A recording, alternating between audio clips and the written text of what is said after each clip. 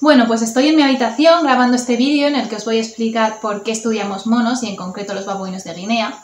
Y me gustaría estar en un sitio más bonito y con mejor luz, pero esto es lo que ha pasado. Para grabar este vídeo me voy a ir a un rinconcito que hay aquí cerca del campamento, que es muy bonito. Justo aquí el otro día por la mañana había un león, así que con un poco de suerte no nos lo encontraremos. Y ya hemos llegado. Mirad qué bonito, por favor. Pues yo me voy a poner por aquí a grabar con estas vistas tan preciosas que tenemos. Del ser humano y entender por qué somos como somos. ¿Qué ha sido eso? Un león. Vale. No sé si se sigue oyendo, pero eso es un león y suena bastante cerca. Así que lo que voy a hacer es, me voy a ir a otro sitio a grabar. Y ya está. Mm, no me merece la pena correr el riesgo por hacer un vídeo, así que me pido. No hay que correr, no hay que correr. La la la la la. No pasa nada, no pasa nada. Y estamos casi llegando al campamento. ¡Bamba, le león!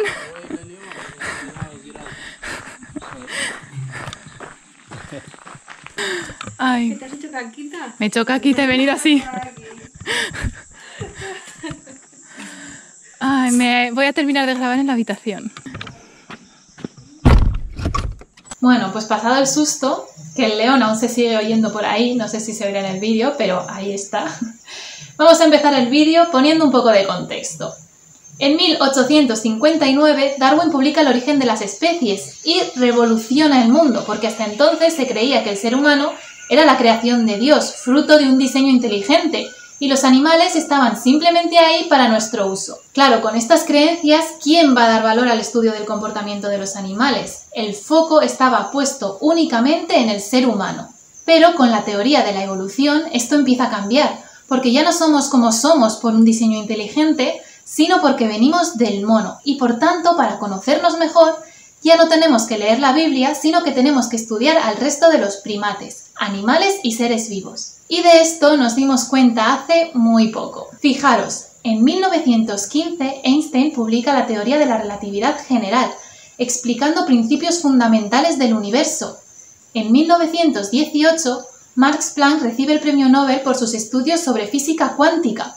Se estaban descubriendo las leyes de lo más pequeño, del mundo atómico pero no sabíamos aún nada del comportamiento de nuestros hermanos, el resto de los animales. No es hasta 1939 que Lorenz y Timbergen, que son considerados los padres de la etología, que es el estudio del comportamiento animal, se conocen y empiezan a estudiar la conducta de los gansos. Por aquel entonces Jane Goodall tenía solo 5 años y es en 1960 cuando viaja a África por primera vez para estudiar a nuestros parientes más cercanos, los chimpancés, Así que hasta hace poco más de 50 años no sabíamos nada sobre ellos. La primatología es una ciencia muy reciente y hay más de 500 especies, así que de la mayoría de ellas no sabemos nada o muy poco.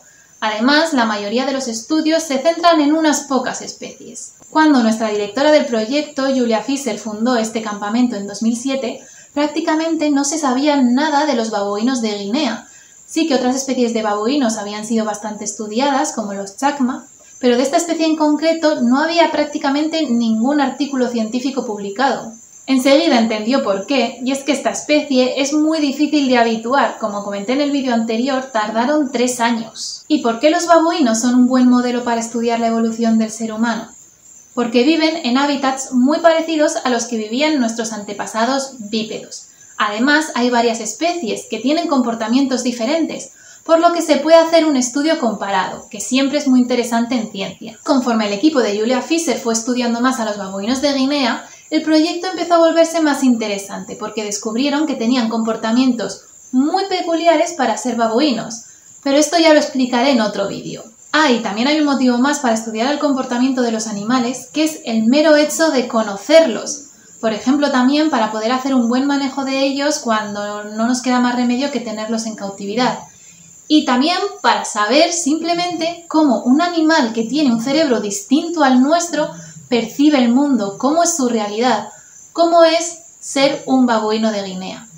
Y con este motivo me despido, que es mi favorito, y nos vemos en el próximo vídeo, si no se me ha comido ningún león.